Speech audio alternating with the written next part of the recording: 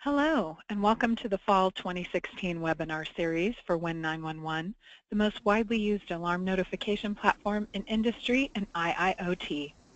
My name is Michelle Costa. I'm the Sales Operations and Marketing Programs Manager here at Win911 Software. Before we get started, there are a few things I'd like to point out.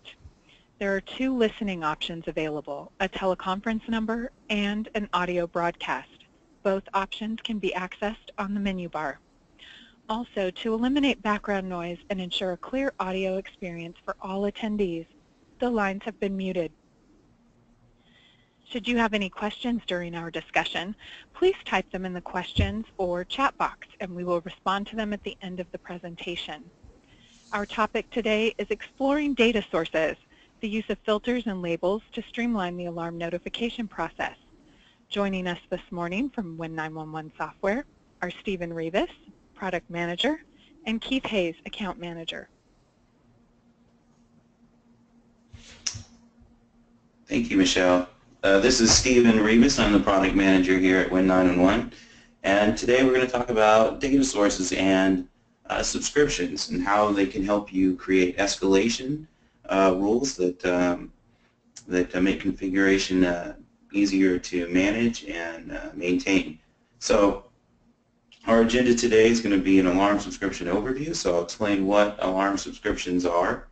Um, and then what we'll do is we'll go through each one of our data sources that support subscription-based uh, alarming, and uh, we, I'll show you how each one of those uh, utilizes subscriptions and what you can filter on. And then what we'd like to do is, is show you guys the new InTouch data source. Uh, we'll go ahead and do a live demo of that. And once that's done, we'll go ahead and stop for questions. So um, like Michelle said, if you have questions throughout the presentation, feel free to, to type them in the chat box. And at the end, we can get to those. So what are subscriptions? So the, the simplest way to describe it is when uh, Win911 can go to your SCADA system and it can say, uh, give me every new alarm that you have, or give me every alarm that you have, and anytime that alarm changes state, give me that update. And so what that allows us to do is apply filters on those alarms that come into Win911, and depending on what those filters are, you can route those alarms to the people that need to hear about them. So what you're not having to do is, in the old way that we used to do this, um, is import a bunch of tags or manually enter a bunch of tags into Win911 after you've already defined them in your SCADA system. So the goal here is to eliminate the need to maintain two separate alarm lists. So and, and another benefit of this is that you get um, uh, dynamic changes on alarms. So for example, because we don't have a tag or an alarm defined in Win91, if that, that alarm uh, were to change a description on the SCADA side, change the severity, or change any property about that alarm, once that alarm is active, Win91 will automatically receive those new properties. So there, again, there's no need to maintain two separate alarm lists. You change something in your SCADA side, it automatically is uh, inputted into Win91. So how can you use subscriptions for your escalation? Um, when you define a subscription, in each one of our data sources that we have for Win911 Enterprise support subscriptions, you can filter on uh, different things, different uh, different criteria about an alarm, and it's going to vary uh, for each data source because not every data source is the same. Um, once you create those filters or subscriptions, you can set them to or assign them to a strategy. And a strategy, if you uh, uh, participated in our last webinar, a strategy is a, a list of rules, uh, escalation rules of what Win911 should do uh, on a certain alarm condition. So for example, if you get a new alarm, uh, Win911 should call this list of people. If that alarm were to change state, um, then let's re-notify those people or, or um, let's uh, notify some other list. If the alarm's been active for a certain amount of time, let's take some other action. So that's what a strategy is. So when you create these subscriptions, you're assigning that subscription to a strategy. And what you can also do is when you create these subscriptions are, is attach a label to the subscription. And so what that will do is every alarm that comes in through your subscription will automatically wear this label or a badge. So you can see in my example at the bottom of the screen, I've got a filter. This is for, uh, this particular filter would be for FactoryTalk alarm and events. I'm filtering specifically on class or alarm class. And I'm saying if the class of an, if an alarm comes in and it's a, mem it's a member of the pump station number two class, let's assign a label to it called pump station number two alarms. And then let's send that to a strategy. Here I have it set to default, but it would, in a real world scenario, would say something else. Uh, and then once you once you do this, now Win9 is going to start receiving alarms from your data source, and it's going to be attaching this label to all these alarms, and you can use that label in your tactics.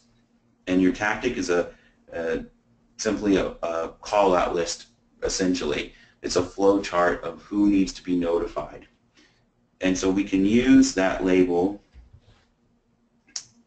in a tactic. This is an example of what a tactic would look like. So you're starting from the, stop, the, the, the green dot there. We're hitting this label decision block, and it's saying, uh, is, does this alarm belong to pump station number two alarms? And if it does, let's notify the pump station operators. And what's interesting about uh, this tactic that you're seeing is you're not seeing any one person's name in here. And so what that means is that your escalation is entirely dynamic, meaning if you do get this alarm and you're telling it to notify these pump station operators, any connection within your Win91 system can be assigned that pump station operator role. So when you create your connections, you assign them a role of whatever it may be, and again, in this case, pump station operators, and then you're not having to edit your escalation. So subscriptions and labels are a way to continue the dynamic um, dynamic escalation in Win911. So if you take advantage of these features, you'll find that you won't need to edit your escalation rules ever uh, because it's always set up. If you set up your filters correctly the first time, then they, they should continue working for you. So what I want to do is just talk you through each one of the data sources of support, subscriptions, and how the subscriptions work. And, uh, and we'll start off with CIMPLICITY. So CIMPLICITY um, we can filter on four different things. First being um, point IDs. So point ID is a, more or less the name of an alarm in CIMPLICITY. And what's, if you do select specific point IDs, what we do is we give you the ability to create a wildcard uh, filter. And so you can wrap uh, your filter terms in a, in a wildcard character and say, let's say I, I'm interested in every alarm that comes out of CIMPLICITY that has the name tank in it. So I can set my wildcard filter to filter everything with the letters T-A-N-K. Uh, class names, so we can filter on class names. That's going to be the same kind of filter. So if we choose specific class names, we're going to be able to do a wildcard filter on that guy. Same thing with resource IDs. But um, all class, and then the class orders will let us um, set a particular number for class orders or set a range of class orders so we can uh, set a, a, just we have a range selector there where you can say give me all the alarms starting at this point and all the alarms starting at, ending at this point. Or we can set a specific order value. So if we want just alarms that have this particular order value, then uh, we can do that. So next is going to be iFix. So iFix is uh, less things to filter on, and, and, what we can filter on is going to be dependent on the data source, um, the data source itself. So we'll use whatever we can use when we create a data source. So it's just some, some data sources don't offer as, uh, as many things to filter on. So here we're doing a specific block name, so you can see the same the same um, thing I was mentioning earlier in the CIMPLICITY filter is that if I do select specific block names or any names, any specific name filter or criteria, I get this wildcard option. You can also choose uh, regex or regular expression, um, and you can type in in advance as you want regular expression to uh, match or not match alarms, uh, well, well alarm properties. We also filter in iFix on alarm area, so a good way to set up an iFix uh, filter would say every alarm that you are interested in sending to Win 911 uh, in iFix, just assign, create an area in iFix called Win 911, for example. Or you can call it what, obviously you can call the area whatever you like. But let's say you called an area Win 911, and then every alarm that's in iFix that you want Win 911 to know about, when you create that block, just assign it to the Win 911 area in addition to any of the other areas that you are using. So that way, you're not having to come and touch Win 911 at all. Every time you create a new block in iFix, it, uh, just put that area on there and it automatically goes to Win 911. So next we'll go to FactoryTalk Alarm and Events. So you'll, you'll start to, I think, see a theme here. I mean, uh, we're going to try and always filter on alarm name, uh, but here we've got alarm um, uh, alarm severity. So we've got the severity range again. So we can set the low severity range and the higher severity range or upper limit of the severity range. We can set a specific severity value. So if we only want um, alarms that are uh, have a severity of 1,000. Um, again, names. So we've got um, all names or specific names. So this would give me every alarm that has the word fresh in it and is in the severity range of 500 to 1,000. So on the bottom there you can see class. So this is going to filter on a alarm class. This is very similar to iFix and a, a, a good way to set up your alarms and alarm events is if you sign, if, you, if there's a particular class that uh, alarms are assigned to that means that Win911 wants them. So again, let's create a class called Win911. Every time you create an alarm in FactoryTalk, just assign it to that same class called Win911, and then Win911 will receive that alarm automatically. So um, you can also use you can use classes not just to say, hey, let's go to Win91, but you can also use classes to represent uh, groups that need to be notified. So let's say I created a class called freshwater, and I created a class called uh, wastewater. So I'll create my first filter to filter uh, all alarms that are part of the, the freshwater class, and my second filter will filter all the alarms that are part of the wastewater class, and then those can go to different strategies and, and notify different, totally different sets of people, um, depending on who needs to hear about the alarm. So let's move on to the InTouch data source. So for the InTouch data source, what I'm going to do is uh, switch out of the PowerPoint and go to a, uh, a, live demo. So what I'd like to do is just show you how, um, how subscriptions work um, for InTouch. So let me exit out of here, jump over here, and let's jump into the GUI here. So what you're seeing here is a configuration uh, workspace of Win911 for InTouch.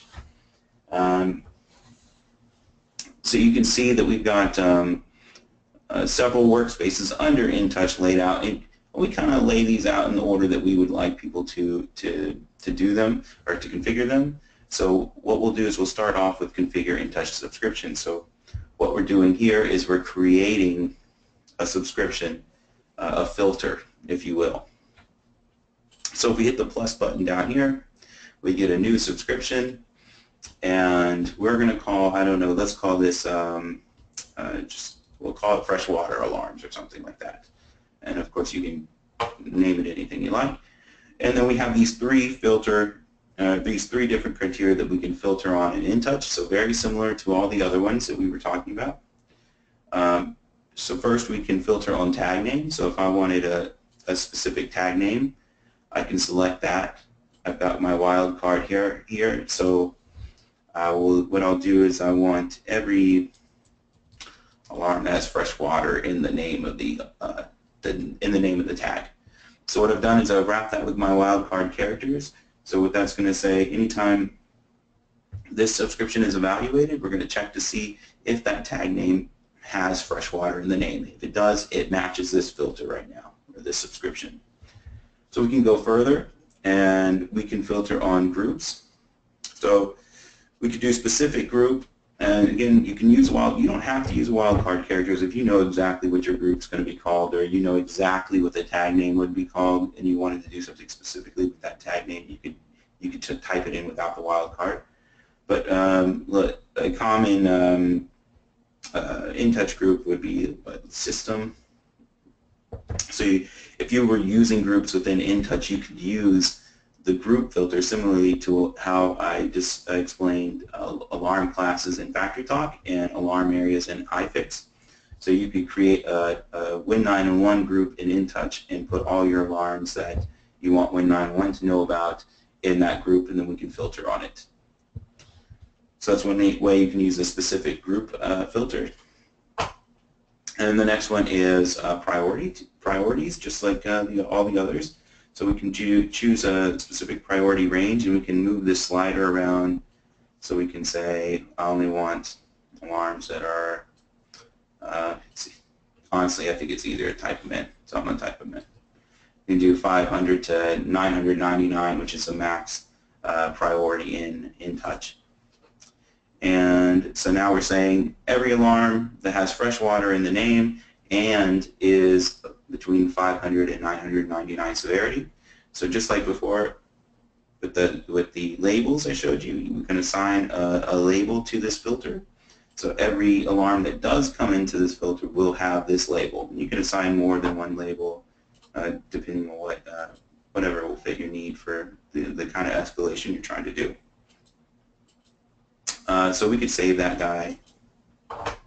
And now you see you've got a, a filter here. And you can see there's another one over here. This is a default subscription that we include with the product. And you can make as many of these subscriptions as you want. So these subscriptions currently aren't doing anything. They're just subscriptions that we have created and to use them you have to apply them to an application. So the next step is to configure an application.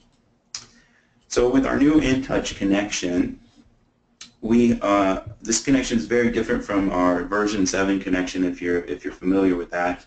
We're using uh, different technologies to make this connection possible. So the, the first major difference is that you no longer have to run Win911 on the same machine as InTouch. You can run Win you can run Win911 on the same machine as InTouch, but it's not required. And the way we're talking to it is over the network. So you can see here I've got a name field for an InTouch application. I can type in anything I like here. It's just a user-defined name. And then I've got a node name field. So here I can type in the uh, machine name of the computer hosting the WindowViewer application I'm wanting to talk to. Obviously in this case it's on this machine, so I've typed in localhost. You can also type in an IP address here uh, as well. So I'm going to leave mine as localhost because it is on this machine. We also include this browse button here so you can, uh, you can select the machine that it's running on. So we've got um, uh, one, one more thing uh, about the remote connection is that I can connect to more than one InTouch application. So you can see I have one here. So if I have this on, if I have an InTouch application on this machine and I have another one on um, some other machine, like an InTouch machine, for example, I can monitor WindowViewer applications uh, remotely. So I and I can do multiple InTouch applications at the same time. Uh, so so that's a new feature there. And another thing that I'm sure someone will ask me about is a reconnection. Uh, if we lose our connection to InTouch, uh, we will reconnect with this with this new Direct Connect. So um, close out of this guy and go back to the one that I have. And refresh them. Watchdogs. So now we can, uh, we've got watchdogs. Watchdogs are a way for us to uh, define a particular tag within your InTouch application uh, for a changing value. So we're checking for um, an alarm change in InTouch, and I believe we're also checking for a value change. If we don't see a value change or an alarm change within a set timeout, which by default is 90 seconds, we can create an alarm on that. a good way, what you could use with the, the way you could use a watchdog is to monitor something like the minute uh, tag in a PLC or something, and you, then you could say, you could create this watchdog and say something like PLC uh, number five down or disconnected or something like that. And you can create as many watchdogs as you like. Uh, my InTouch demo is not uh, configured to support a watchdog. I don't have a tag that's with that's a changing value right now that I want to type. Actually, that's not true. You could use the the it's, I think it's the dollar sign minute tag uh, if you wanted to monitor specifically to your InTouch application. Uh, all right, so subscription route. So earlier I said that the subscriptions aren't in use until you assign them to an application. So this is how you do that. So when you create your application, you can edit your subscription routes. So a subscription, you can see I've got a subscription here. It was that all alarm subscription that was included by default and I'm assigning it to the default strategy. The default strategy in Win91 will notify everyone in the system of the alarm. If you had other strategies, I think I have a do nothing strategy in here as well, or do not notify strategy. Um, but if I had my own custom strategies in here, I would select them. Uh, you can add more than one subscription route, and then these uh, subscriptions will be evaluated in the order that they're placed, meaning if I have a filter here and my alarm gets caught in this subscription, that alarm will never make it to this subscription. So it's being pulled out here and it won't continue to cascade down. Uh, so that's what that's about. And again, you can have as many um, subscriptions or routes, I would say, in uh, assigned to an application as you need. Um, so that's how that's how you take the subscription and InTouch and assign it to an application.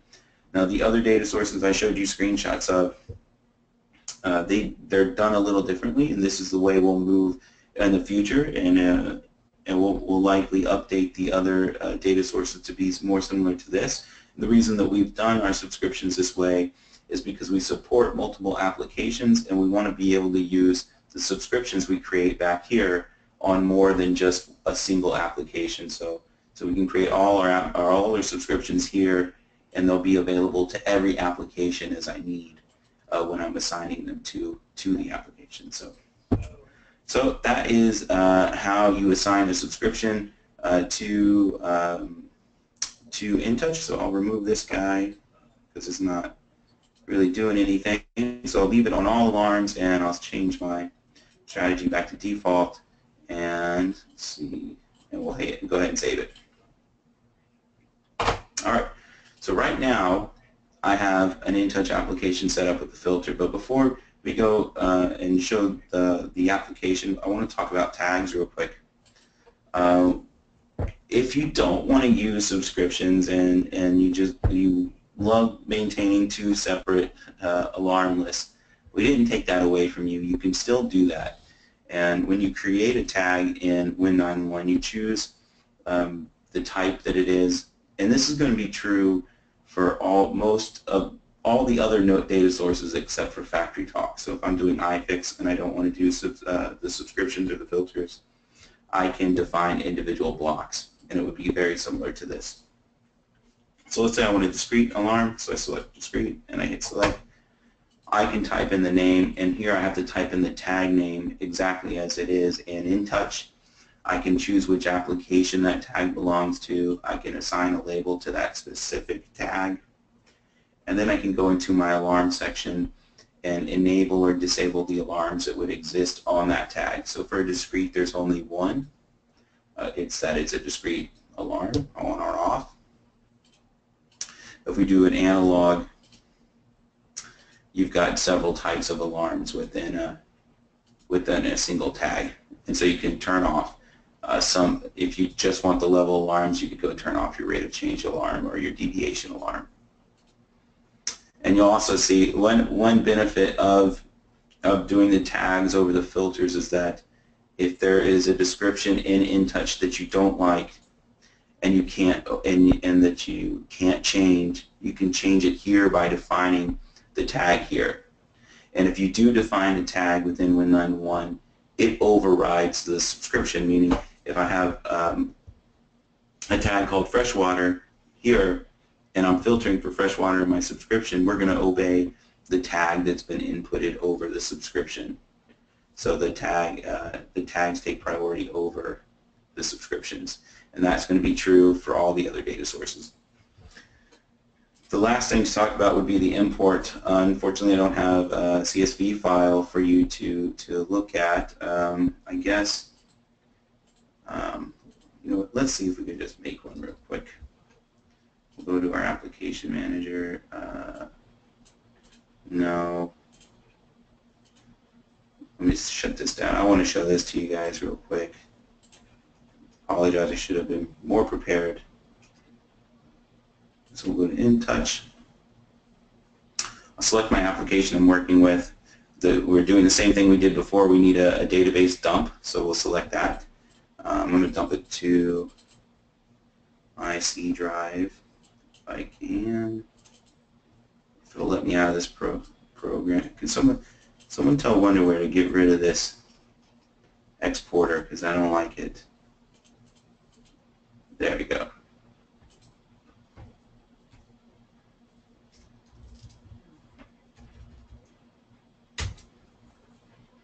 Oh no, I see what it's doing. Never mind. I can't do that. Alright, so we've created this dump. So now we have one configured application, so we need to configure the, select the application we want to import to.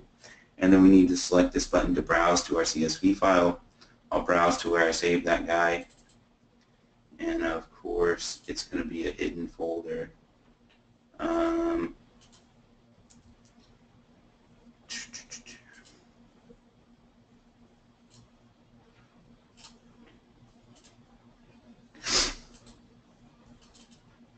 So we'll go to Program Data, select Test CSV, say OK. It found 28 tags in that file, and now we can go Next. It's going to list them all out here on the left side, and we can select them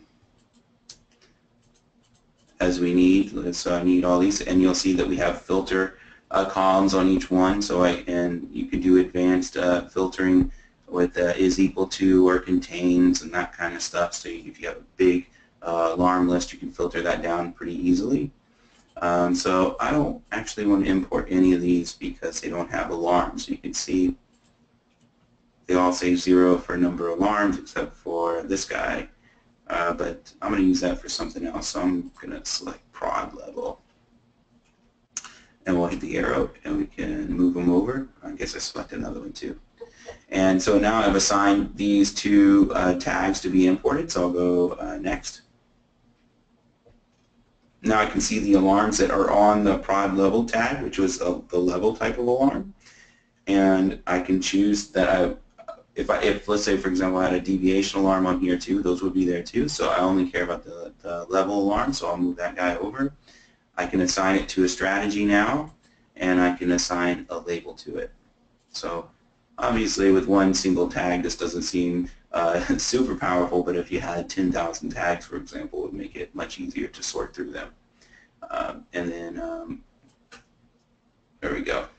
We have imported that two tags. One of the tags had an alarm on it, and it takes you to the beginning.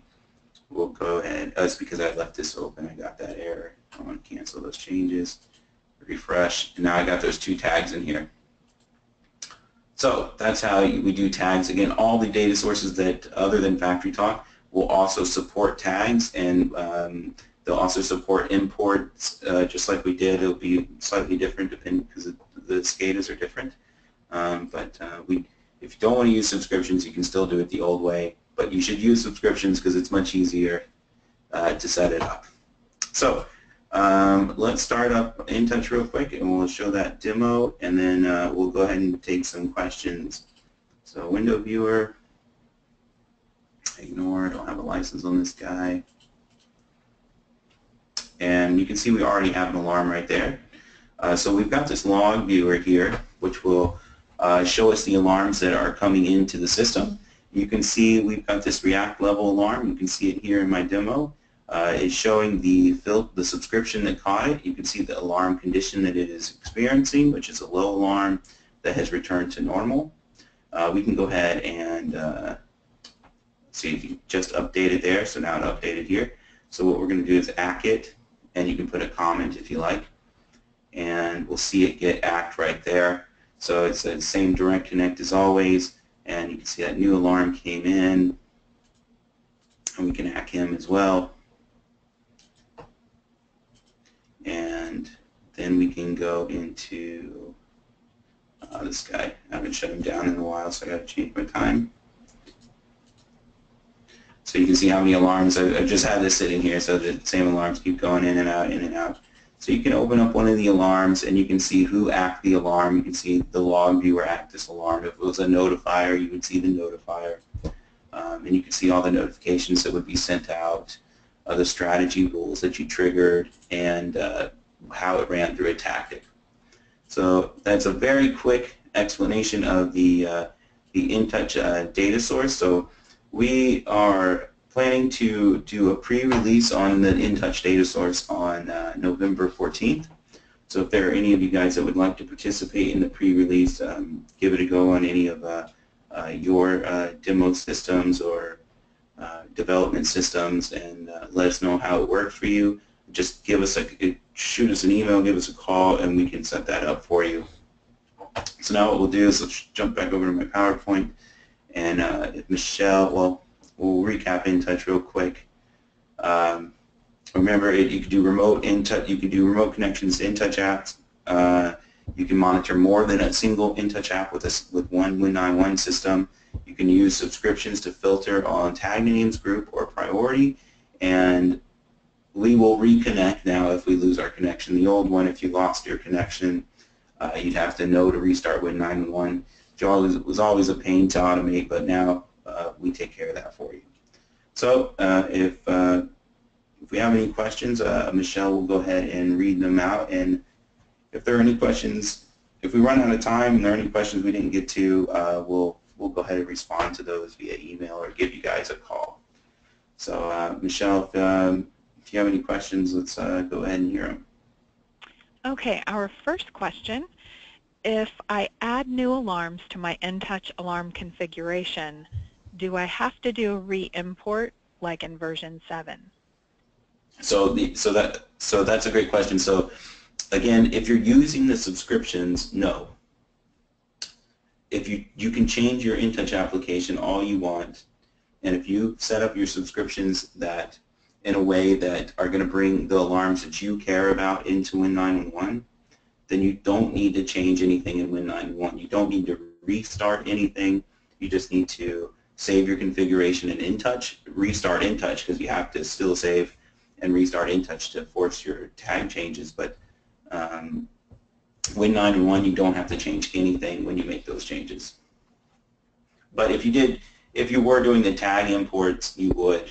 If you weren't using the subscriptions, you obviously would have to add them in if you weren't using subscriptions whatsoever. So, so use subscriptions, it's easier. All right, next question.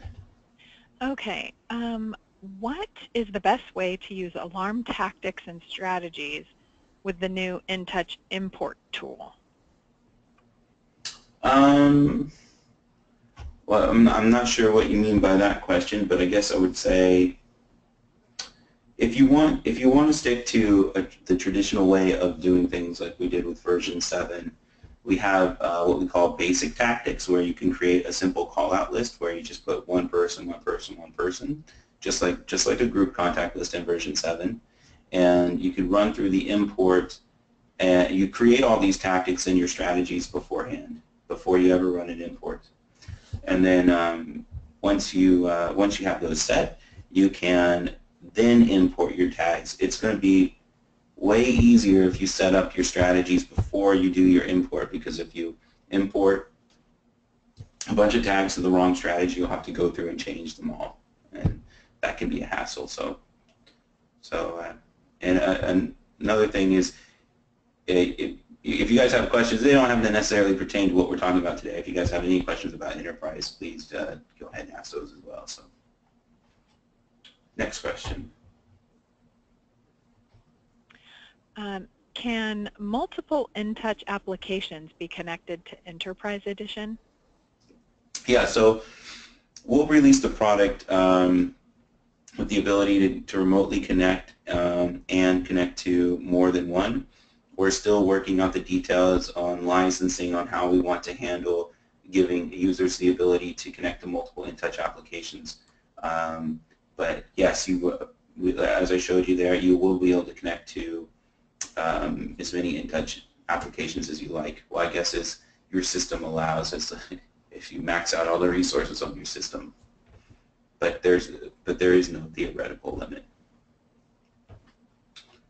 All right. Next question, Michelle. Okay. Um, let me, I'm trying to type this so that I can um, understand this part. Okay. I'm using FactoryTalk Alarm and Events. How many A&E servers can I connect to Enterprise? Well, right now, as many as you want, uh, as long as they're within the same directory. Um, we're not going to be able to connect to alarm and event servers that are in a different directory just because it's not possible with the way that we're subscribing to an alarm and event server. So if you have, right now, if you had 10 alarm and event servers in your directory, you could connect to all 10 of them.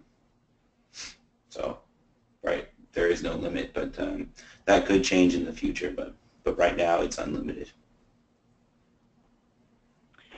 Okay. Are iFix and FactoryTalk data sources available yet? Yeah, so iFix and FactoryTalk were the first ones released for enterprise. Um, so those have been out since hmm, 2014, I think, I believe. Uh, yeah, so they're available. If you want, you can download a demo of the enterprise product off our website. Um, if you have questions about configuring it to get it to work with iFix or alarmed events, you can call our tech support team and they'll walk you through um, setting that up. If you want a more detailed just overview of those data source uh, connections and or and the enterprise product uh, altogether, you can contact our sales team and we can set up a, a, a webinar for you and just and uh, just go through all of your your concerns with the software and what how it can work for you. So, so yeah, it's uh, it's it's on the website, so you can go grab it now. It will run for 30 days without a license, and then it will then it will shut off. Uh, and we had a follow-up question to that. Is is this only available on the Enterprise Edition? Yes, all everything that I showed you today is Enterprise. Um, uh, so so none of these new none of these things that I talked about today are in version 7. Though I will say version 7, the alarm and event connection, it does support filters. We call it filters in that product. Um, so that's always been there. But all the other data source connections are the uh, tag based, so you have to maintain two separate alarm lists. Um, and the aim for enterprise is where we can, we will support subscriptions and we'll also support tags for those guys that still want them. Um, and uh, so we're doing both, um, but the primary focus for us is to get the subscriptions in there.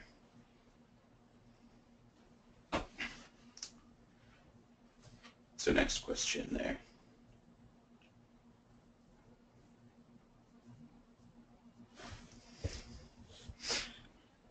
Okay, I believe this concludes the end of, of our third webinar um, in the series, and we will um, have this available to um, download and view at your um, leisure.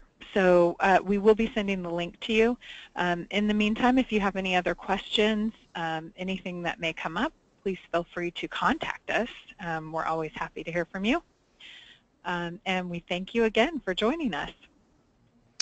Yeah, thanks guys. And just one, just a reminder, if you want to try out the InTouch uh, uh, data source before we do a full release, just contact our um, sales team and we can get that set up for you. All right. Cool. Everyone have a great day. And thanks for thanks for participating. Bye.